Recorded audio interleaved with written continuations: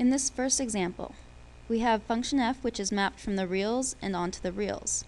So our domain is the all real numbers, our codomain is all real numbers. Our range though, if we were to graph this function, f of x equals x squared, we get this kind of graph which has a minimum point at 0, 0.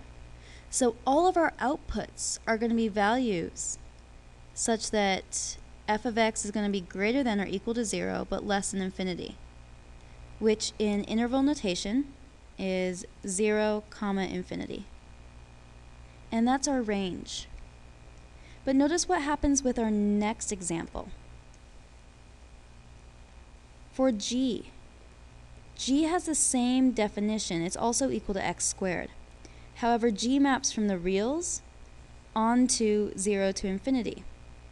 So do domain is the real numbers, our range is 0 to infinity, and that is also our codomain. So this is an example where the codomain and the range are equal. In the first example, they weren't. Your range, however, should always be a subset of your codomain. So every number that's in your range should be a number that you basically pulled from your codomain. Let's look at another example. Again, we have a function that's equal to x squared. However, h maps from the natural numbers onto the real numbers. Again, it helps to graph this.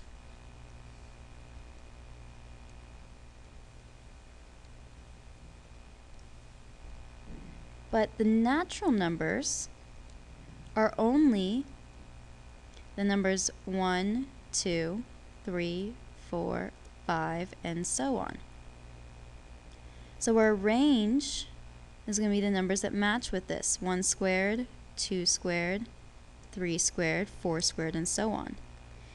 Meaning our range is the set of numbers 1 squared, 2 squared, 3 squared, and so on. Now all these numbers do appear in the codomain, but not all real numbers are represented in the range. So here we do see that the range is a subset of the codomain.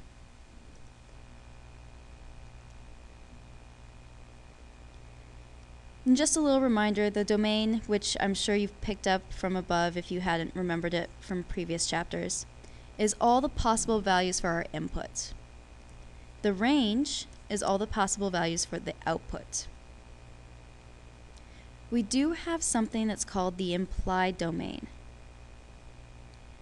What the implied domain says is that first of all, in general, if a domain and codomain are not given, we assume that we're mapping the function from real numbers onto real numbers.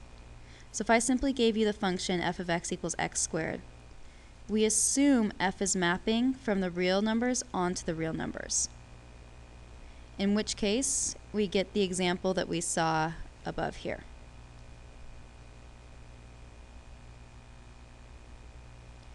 Sometimes, however, we have an implied domain. And what this means is that there are values that x cannot be. And there are what I call two neon lights that you want to look for.